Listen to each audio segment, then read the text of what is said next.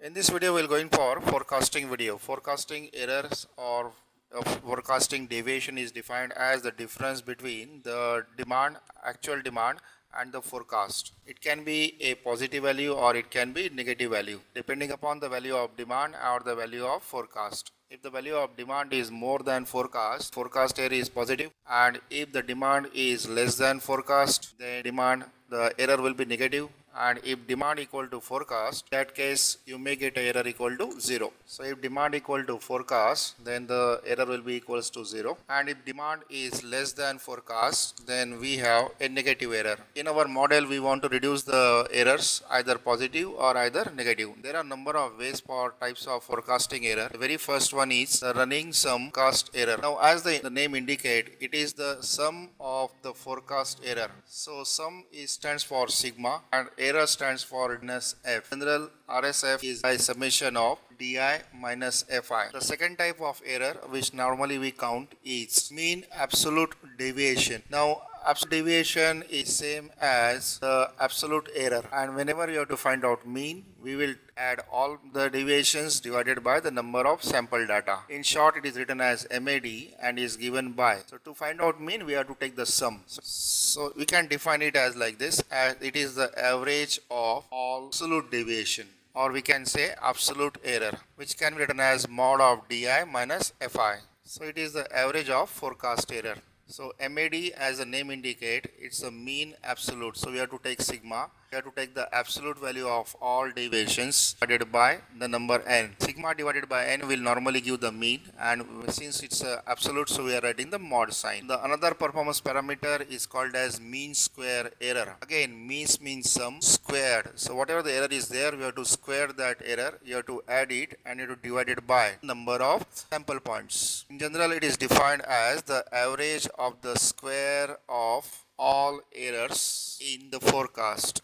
So MSE is given by sum because we want to take the mean. It's a error square. So this is di minus fi whole square. And since we want mean, so we'll divide it by the sample number equals to n. n is data points. The fourth point that you have to calculate is bias bias whether the data is on the positive side or on the negative side. It is also called as the mean forecast error. So whenever the mean is there, you always remember you have to take the sum and divide it by n. Now this is a mean means sum of forecast error. Bias is something like this is a measure of overestimation or we can say underestimation. Positive bias means that the underestimation that is a forecast will be less than the demand and the negative bias means that the forecast is more than the actual demand or in other words we can call it as overestimation. Now since it's a mean value so bias is given by sigma of error. Error is di minus fi and you have to divide it by n. Now finally the important term is called as tracking signal. So tracking signal monitors the performance of the forecast model and indicates whether the model need to be revised or will be continue with the same model. There is always a upper limit for the tracking signal value. It is normally calculated using the 3 times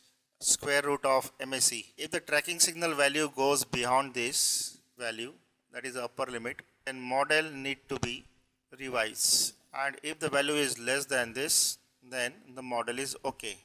The tracking signal is the tracking signal is given by the ratio of RSFE that is running sum of forecast error divided by MAD. So we have these relations of forecast error, RSFE, MAD, then we have MSE and one more is bias and finally we have tracking signal. So take we take we'll take one sample numerical based on this one. Let's say we have three period data, period demand and forecast, period is 14, 15, 16, demand is constant 100 this one is a GATE numerical. This is the forecast is 75 87.5 93.75 and let's calculate all these parameters here. So first of all we'll calculate error which is 100 minus 75 is 25 100 minus 87.5 is 12.5 100 minus 93.75 is 6.25 so we can calculate running sum of forecast error. So you have to simply add the all errors.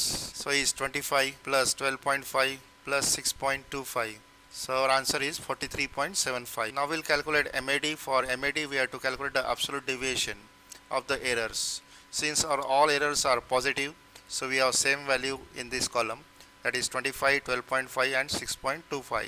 So let's calculate MAD using the given formula. We have to take the sum of absolute errors divided by sample points. So it is same value as 43.75 and we have sample equals to 3 so 43.75 divided by 3 that is 14.58. Then we'll calculate MSE. For MSE we require a square of error. So 25 square is 625. 12.5 square error is 156.25 and 6.25 square is 39.062 or we can so we can calculate MSE as sum of square of all this quantity. So 625 plus 156 plus 39 point 625 plus 156.25 plus 39.063 divided by 3 data points. Now most commonly used error is MSE that value is come out to be 273.4 next we'll check for bias bias is nothing but the average value of errors. Errors we already collected in the first column. So that sum is known to us in RSFE is 43.75 divided by the sample data is n because we want to find out average. So this value come out to be same as 14.58 and finally we'll calculate tracking signal which is the ratio of RSFE divided by MAD RSFE we got 43.75 and mean absolute deviation we got 14.58 so tracking signal come out to be three times in a time series forecasting model, the demand for a 5 time periods was 10, 13, 15, 18 and 22. A linear regression model is given by a forecast equal to 6.9 plus 2.9t where f is the forecast for the period t. We want to find out the absolute deviation for the 5 data and the period stands for 1, 2, 3. Absolute deviation is sum of uh, sum of di minus fi. So we will prepare one table here which consists of column. First column is period, second column is demand, third column is forecast and the fourth column will consider for error. Forecast we have to calculate as f equals to 6.9 plus 2.9 times t. Forecast error is given by demand minus forecast and one column will make for absolute value that is absolute sign of demand minus forecast. So we have given 5 periods. So we'll write 1, 2, 3, 4, 5. The respectively the demands are 10, 13, 15, 18. So we have 10 demand. Then next month is 13. Next month is 15. Next month is 18. And the last month we have 22. Forecast you have to calculate using this equation. So in this equation we put for t equal to 1. Then we'll get a forecast for the first period.